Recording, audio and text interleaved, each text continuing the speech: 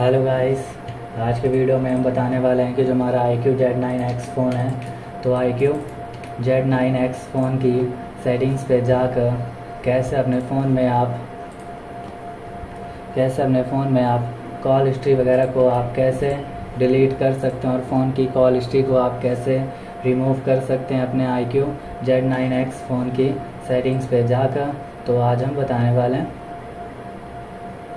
कि फ़ोन की सेटिंग्स पे जाकर कैसे अपने फ़ोन में फ़ोन में कॉल हिस्ट्री वगैरह को कैसे अपने फ़ोन से डिलीट कर सकते हैं और हटा सकते हैं अपने फ़ोन में। तो बताने वाले हैं तो वीडियो स्टार्ट करने से पहले हमारे चैनल को लाइक सब्सक्राइब करें। तो वीडियो स्टार्ट कर लेते हैं। तो आइकन शो है आप देख सकते हैं हमारे फ़ोन के, जिसमें से स्वाइप करना है। स्वाइप करते ही ऑल आइकन्स ओपन हो जाएँगे और ओपन जा, होते ही आप कैसे अपने फ़ोन में कॉल हिस्ट्री को डिलीट कैसे कर सकते हैं अपने फ़ोन में। तो देख सकते हैं कि सेटिंग शो हो रही है, जिसमें से सेटिंग्स पे क्लिक करना है। क्लिक करते ही फ़ोन की सेटिंग्स पे जाकर कॉल हिस्ट्री को आप डिलीट करते हैं तो कर सकते हैं अपने फ़ोन में। देखते हैं कि सेटिंग्स पे जाते हैं या फिर बैक करते फ़ोन आइकन्स पे जाते हैं।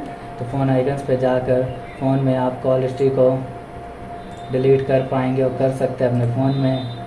देख सकते हैं कि आप कॉल हिस्ट्री को आप डिलीट कर सकते हैं, इस पर जाएँगे क्लियर हिस्ट्री ऑप्शन आ जाएगा। जो भी आप कॉल हिस्ट्री या फिर फ़ोन की हिस्ट्री को डिलीट करना चाहते हैं तो आप कर सकते हैं और कर पाएँगे। सिंपली जब आप यहाँ से इस नंबर्स को सेलेक्ट करते हैं, उन्हें डिलीट करते हैं तो इस तरीके से भी आप कर सकते हैं। और एक एक करके भी डिलीट कर पाएँगे या पूरी तरीके से डिलीट करना चाहें तो क्लियर करते ही कॉल हिस्ट्री आपके फ़ोन से हट जाएगी। तो इस तरीके से कॉल हिस्ट्री को डिलीट कर सकते हैं अपने IQ फ़ोन में। तो आपको वीडियो अच्छी लगी तो लाइक करें सब्सक्राइब करें, साथ में बेल आइकन दबाना ना भूलें। थैंक यू नेक्स्ट वीडियो के लिए इंतज़ार करें।